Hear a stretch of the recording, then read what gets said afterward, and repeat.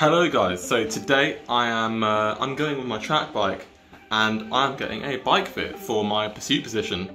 So uh, this year I've got a few individual pursuits planned at UCI level track races, assuming they don't get cancelled, which uh, should be pretty cool. I'm pretty excited for that. I've never actually done an individual pursuit, so uh, I'm hoping it would suit me. It's sort of my sort of length of effort. So uh, if I can get an aero, hopefully I can get a really good time. So I'm taking this down to Vankru, Vankru Bike Fit Studio, and uh, we're going to get a nice little bike fit with my new Prime bars. So here is the Prime Noosa bar. Uh, this is their carbon TT bar. I got it a few days ago. In fact, I got it on my birthday. It wasn't a few days ago, it's a lie. It was like two weeks ago, but I've been waiting until I can get a bike fit. So I've just assembled it briefly to just sort of a, a standard position and uh, we'll be moving it around loads. Got the different spaces.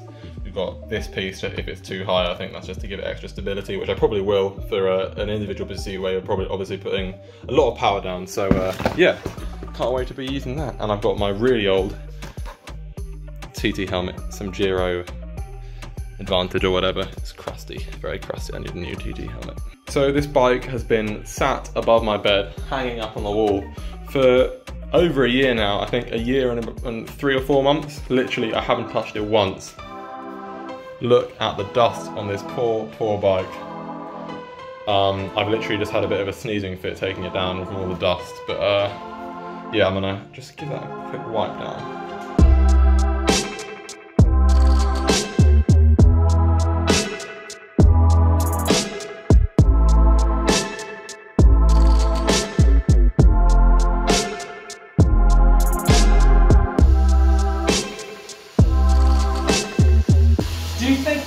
Come down a little bit on the front?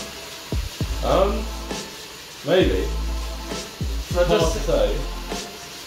because then, but what, what my thinking is is that we we drop you down here because then we can keep this angle. Because normally we could I could drop you down here, but then we're going to lose this angle that Oh, we're yeah, yeah. trying to Yeah, okay. work for.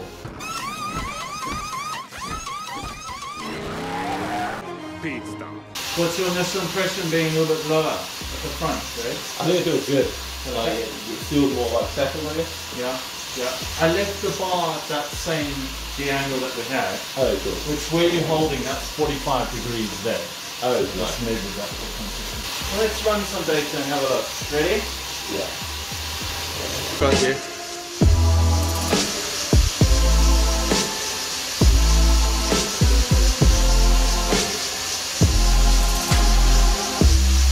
It faster?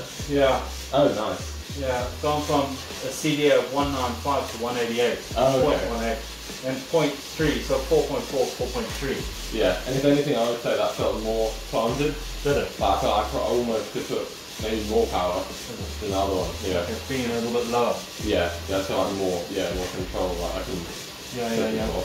Okay, okay. Why don't we try a little bit more of a tilt on the bars? More up like that. Yeah. Yeah. okay. Yeah, no, definitely. Uh, so 45, yeah. But if we just go 5 degrees, Yeah. 50. Tell me when you are ready. I'm good.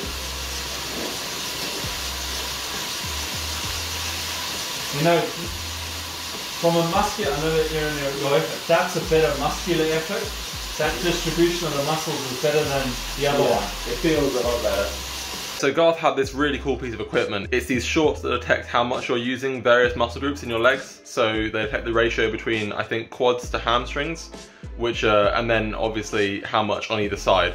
And that's just really good for seeing if a certain position is restricting a certain muscle group, or if a certain position forces you to end up being less balanced and less stable um, side to side.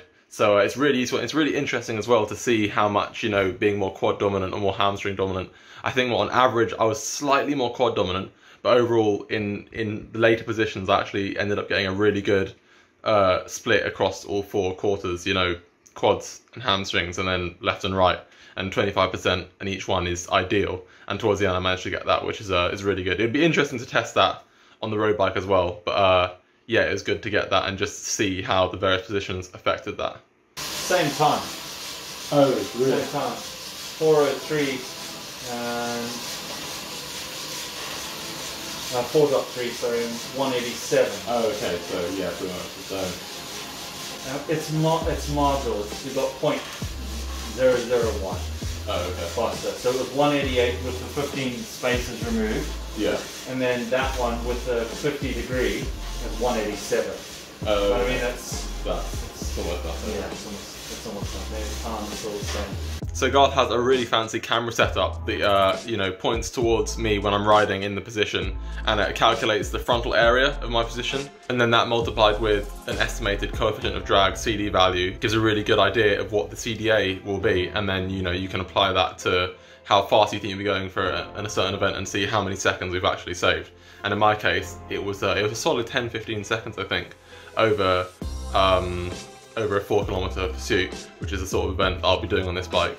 Uh, obviously, it's an estimate, but it does give a really good idea of of how much I've saved, and I think, uh, and it's just good to see the differences that can be made. And you know, hopefully, I'll I'll be practicing more on the bike. I haven't got the bars on there at the moment because I need to get a new stem from Prime, but hopefully, I'll be able to practice it, maybe refine it a little bit, and save even more power. Anyway, that's going to be the end of the video. I hope it was interesting, and thanks for watching.